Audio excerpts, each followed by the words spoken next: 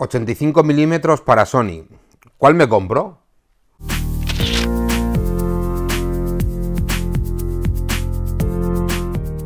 Pues sí, inicialmente quería hablaros de una novedad,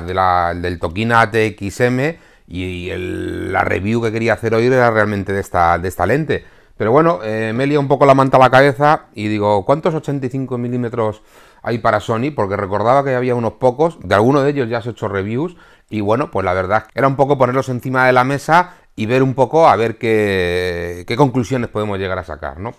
Eh, desde luego este es el último que ha aparecido, como os decía, y os quiero hablar de él porque me parece un objetivo que he podido probar y me parece un objetivo fantástico. Eh, el ATX eh, nos sonaba mucho la nomenclatura, o mejor dicho, dentro de las cámaras con espejo, ATX ya era una eh, sí, nomenclatura que Tokina utilizaba, han añadido esta M que veis aquí, que no es de Mario, ni mucho menos, sino de Mirrorless, entiendo yo, y bueno, pues un poco el apellido que le han querido poner a esta nueva serie, porque ojo, para las monturas Sony E y Full Frame conocíamos los Firin, objetivos 20 milímetros y 100 milímetros, que ya también os he hablado y que bueno, ya conocí vosotros un poco las delicias de él, y este fabricante dentro de sus rarezas, digámoslo así, porque siempre os hablo que es un fabricante un tanto atípico en muchas cosas, pues desde luego hace que mm, sea una lente muy, muy, muy interesante. Y quizá fijaros, si tuviéramos que poner relación calidad-precio de todas las que hay actualmente, yo la que os recomiendo. Eh, dejadme que os desarrolle un poco esto, ¿no? Porque realmente, bueno, pues a lo mejor hay ópticas mejores, no digo que no, sobre todo la G-Master, habláis a oír mucho de ella también, me parece unas lentes, disculpad, eh, me parecen unas lentes maravillosas en cuanto al rendimiento óptico, en cuanto a la calidad, pero que bueno, que muchas veces por precio a la mayor parte de vosotros se escapa porque realmente es una óptica muy pensada para el profesional y que de alguna manera pues pueda tener ese presupuesto para poder gastarse los 1.800 euros que si no mal recuerdo sale eh, esta lente. Pero en cualquier caso, quitando este que sí que puede ser el tope de calidad diría yo, también es muy respetable lo que hace Zeiss con los Batis, ópticas también muy interesante, 1.8 o 1.200 euros quizá por relación calidad-precio, creo que sería, muy, sería, se me iría un poco de mis recomendaciones por esto, precisamente por el precio, ¿no? Eh, porque creo que es un poco un objetivo caro para ser un 1.8, sobrepasar esos 1000 euros, aunque el rendimiento es exquisito, pero creo que eh, sería un poco por ahí, ¿no? Y luego los que realmente más se terminan vendiendo, bueno, antes de llegar a hablar de los tres que se terminan vendiendo más, que son estos de aquí, este empezaremos ahora, insisto, pero sí que el 85 mm original eh, de Sony 1.8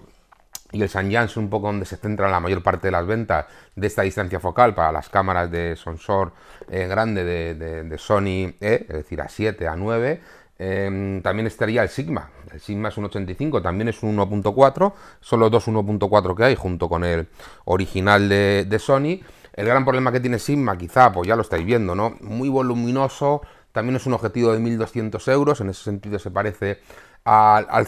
quizá entre uno y otro, salvo por el tamaño que esté mucho más compacto, pues podría ser más interesante por el tema de la luminosidad y también un poco depende un poco lo que vayáis buscando, ¿no? Pero en cualquier caso, la distancia focal en todos ellos es la misma, eso sí que es cierto, ¿no? Y si lo que queréis hacer una foto bonita de retratos, donde es la disciplina donde más eh, digamos, eh, defiende eh, este, esta distancia focal, pues creedme que creo que lo vais a poder conseguir hacerlo bien y con todos, o sea, esa es la realidad, ¿no? Em, ¿Por qué os elegiría este? Porque me parece un objetivo, primero, por precio, 499 euros. Estamos hablando de un objetivo por 500 euros, que tiene un tamaño muy comedido, que tiene quizá incluso mejor calidad que el original de Sony, quizás un poquito más pesado, esto sí, son 600 y pico gramos, 635 no tengo apuntado ni recuerdo el peso de memoria de este, pero en cualquier caso sí lo noto ligeramente un poquito más, eh, más, más ligero en el caso del Sony, pero también es cierto que aquí nos encontramos con unos materiales que denotan un poquito más de una construcción más sólida. Aquí encontramos el metal este que veis aquí, el aluminio este que veis, una construcción metálica en cualquier caso, y hace que la transmisión que tenga el objetivo en cuanto cuando lo tengáis en la mano, pues es espectacular, ¿no? Es un objetivo además que incorpora, bueno, pues toda la tecnología, bueno, esto un poco todo, no 100% compatible con todas las características que tienen las cámaras Sony A7, que son muchas y no las pienso enumerar, pero en cualquier caso, todo el tema del enfoque, seguimiento, seguimiento al ojo va a ser compatible con cualquiera de estos objetivos que veis aquí y de alguna manera, pues también con el tema de la estabilización, por supuesto, o sea, no vais a tener ningún problema en cuanto a que sean compatibles con lo que eh, las prestaciones de la cámara tengáis, ¿no? El 85 milímetros de Tokina bueno, pues para que una idea, es un poco también un poco generalista, pero casi todos ellos se componen de nueve palas redondeadas, el caso de este, tiene óptica SD, pues siempre un poco para lo mismo, ¿no? Buscar un poco eh, librarnos de las aberraciones, de las imágenes fantasmas, de los destellos, siempre son objetivos que van un poco buscando eh, ese mayor rendimiento de centro a esquina, que no nos encontremos eh, en toda el área de imagen por ninguna cosa rara, sino que sea una calidad homogénea, y sobre todo, bueno, estas nueve palas redondeadas que os decía, lo que nos va a hacer eh, Tokina lo define como el, monstruo del bouquet, ¿no? Bueno, el gran bouquet o el gran desenfoque de fondos con aperturas de 1.8 o 1.4 todavía más, vamos a conseguirlo en todos estos de una manera bastante eficaz y bonita. Eh, quizá cada uno tenga una matización diferente, pero en el caso del Tokina, insisto, por 500 euros creo que está francamente bien lo que nos puede eh, llegar a dar.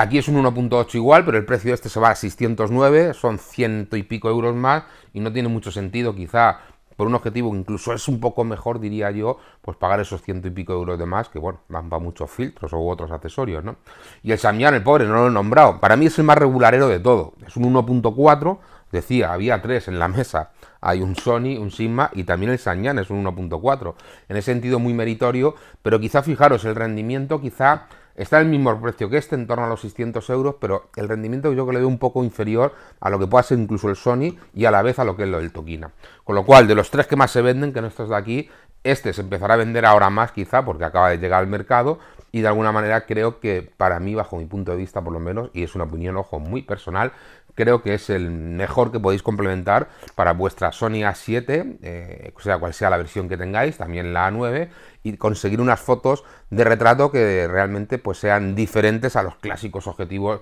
zoom, porque realmente esto lo vais a conseguir.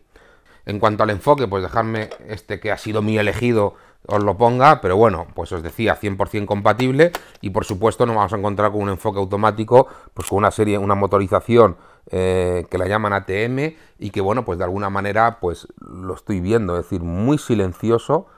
y realmente rápido, es decir, también la tecnología que el fabricante aporta y con esa compatibilidad 100% que hay entre el Tokina y Sony, eh, ten en cuenta que estos fabricantes cuando permite o cuando Sony permite fabricar bajo la eh, eh, bajo la montura E, pues siempre hay una participación un intercambio de datos para que esta tecnología sea realmente compatible. Entonces, el motor, insisto, de enfoque rápido, eficaz, silencioso, que es un poco lo que podemos llegar a, precisar. Y cuando queramos hacer un enfoque manual, tenemos este gran aro, también metálico, que nos permite hacer un enfoque manual pues de una manera muy, muy cómoda, sin ningún tipo de, de problema, y que bueno, pues también es cierto que para cierto tipo de grabaciones,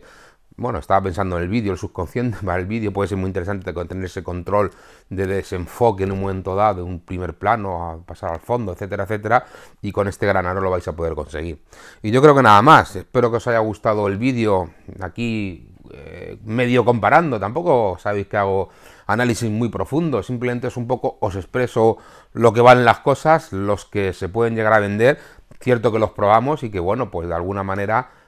poniendo todo esto en la balanza, creo que el 85 milímetros de toquina hoy por hoy puede que se convierta y por precio, relación calidad-precio, lo tengo clarísimo, creo que es la mejor de todas las opciones, que son una, dos, tres, cuatro, cinco, seis opciones de las que puede haber en el mercado Afortunadamente era solo el parasol, parasol que viene incluido con el objetivo, por cierto, al igual que las tapas, y bueno, eso como podéis ver es más o menos común a todos ellos. Pero lo que os decía, relación calidad-precio, creo que es la mejor de las opciones y que de luego creo que se puede convertir en el que realmente más se puede llegar a vender. Fotografinautas, si os ha gustado el vídeo, pues como siempre, el like que os pido, redes sociales que aparecen aquí abajo, pues importante, estar suscrita a una, a dos o a todas ellas para estar al tanto de muchas de las ofertas, novedades y actividades que hacemos en Fotografiarte. Y bueno, pues si todavía no estás suscrito a este canal, yo creo que deberías hacerlo ya, con la flechita que aparece aquí abajo, eh, campanita incluida, para que os lleguen las notificaciones y bueno, estar al tanto de todas las novedades que puedan llegar a salir al mercado y que gustosamente, como sabéis, os las cuelo en vuestras casas a través de este canal. Fotografinautas, nos vemos en próximos vídeos. Hasta luego, amigos.